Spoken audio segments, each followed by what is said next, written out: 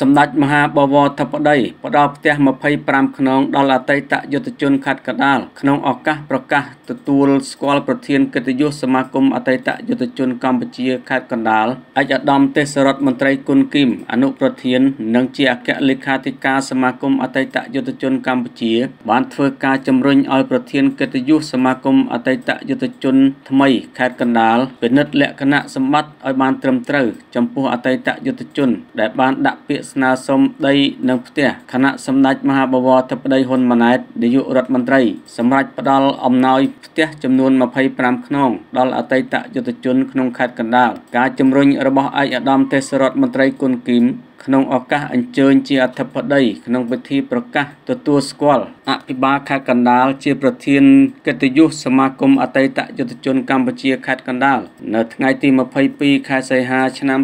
2024នេះក្នុងនាមសម្ដេចអគ្គមហាសេនាបតីតេជោហ៊ុនសែនប្រធានព្រឹទ្ធសភា និងជាប្រធានសមាគមអតីតយុទ្ធជន កម្ពុជាឯកឧត្តមទេសរដ្ឋមន្ត្រីគុណគីមមានប្រសាសន៍ថាអស់រយៈពេលជាង17ឆ្នាំមកហើយដែលសមាគមអតីតយុទ្ធជនកម្ពុជា ត្រូវបានបង្កើតឡើងដោយគំនិតព្រួយផ្ដើមក្រោមការដឹកនាំរបស់សម្ដេចតេជោហ៊ុនសែនប្រធានសមាគមអតីតយុទ្ធជនកម្ពុជា ជាអតីតនាយករដ្ឋមន្ត្រីដ៏ឆ្លៀសវៃប្រកបដោយគតិបណ្ឌិតធ្វើឲ្យប្រទេសជាតិមានសុខសន្តិភាព មានស្ថិរភាពនយោបាយមានការអភិវឌ្ឍឥតឈប់ឈរលើគ្រប់វិស័យនិងមានកិត្យានុភាពល្បីរន្ទឺនៅលើឆាកអន្តរជាតិឯកឧត្តមទេសរដ្ឋមន្ត្រី មានប្រសាសន៍ទៀតថាក្នុងន័យនេះសម្ដេចមហាបវរធិបតីហ៊ុនម៉ាណែតនាយករដ្ឋមន្ត្រីនិងជាអនុប្រធានសមាគមអតីតយុទ្ធជនកម្ពុជាចនិច្ចកាលតែងតែបានចោះជួបផ្ទាល់ជាមួយបងប្អូនអតីតយុទ្ធជន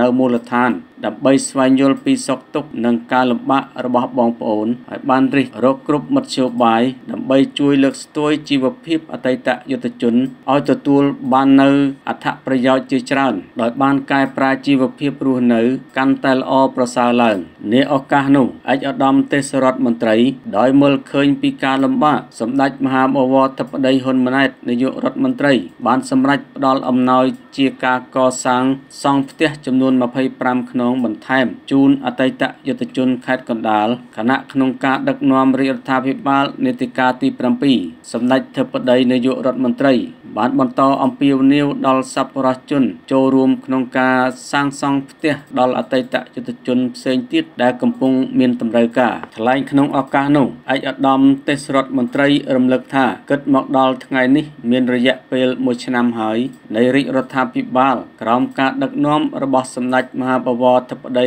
ហ៊ុនម៉ាណែតនាយករដ្ឋមន្ត្រី ដែលសមាគមអតីតយុទ្ធជនកម្ពុជា បានបន្តគោលការណ៍ និងប្រតិបត្តិការយ៉ាងខ្ជាប់ខ្ជួនចំពោះសុខទុក្ខរបស់អតីតយុទ្ធជនព្រមទាំងពិនិត្យនិងវាតម្លៃដល់អតីតយុទ្ធជន ដែលជួបការលំបាកឲ្យទទួលបានអត្ថិភាពមុនគេ ក្នុងការទទួលអំណោយផ្ទះ និងដីរបស់រាជរដ្ឋាភិបាលដូចជាការចោះជួបសួរសុខទុក្ខជាប់ជាប្រចាំជាមួយបងប្អូនអតីតយុទ្ធជនគ្រប់បណ្ដារាជធានីខេត្តលើសពីនេះឯកឧត្តមទេសរដ្ឋមន្ត្រី បានណែនាំនិងជំរុញឲ្យថ្នាក់ដឹកនាំសមាគមគ្រប់ថ្នាក់ត្រូវបន្តយកចិត្តទុកដាក់ដល់អតីតយុទ្ធជន ដែលកំពុងរស់នៅតាមឃុំសង្កាត់ដោយត្រូវបែងចែកភារកិច្ចគ្នាចោះជួបសំណេះសំណាលសារភ្ជាប់ទំនាក់ទំនងកាន់តែជិតស្និទ្ធជាមួយអតីតយុទ្ធជន តាមគ្រួសារតាមខ្នងផ្ទះនីមួយៗឆ្លើយតបទៅនឹងគុណបំណាច់ដ៏ធំធេងរបស់អតីតយុទ្ធជនរាជរដ្ឋាភិបាល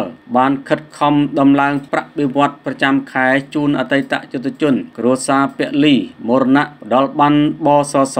សម្រាប់ព្យាបាលជំងឺដោយឥតគិតថ្លៃបានសម្គាល់ជនមានពិការភាពបានក្រីក្រ ដើម្បីទទួលអត្ថប្រយោជន៍ផ្សេងៗពីសង្គមជាពិសេសបានរៀបចំភូមិអភិវឌ្ឍអតីតយុទ្ធជន ដោយសាងសង់ផ្ទះជូនអតីតយុទ្ធជនកិច្ចចាប់ពីឆ្នាំ2008ដល់ឆ្នាំ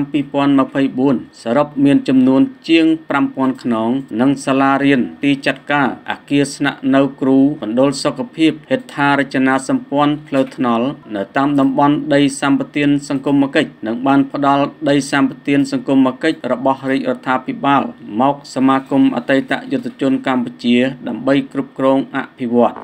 Today ISP get connected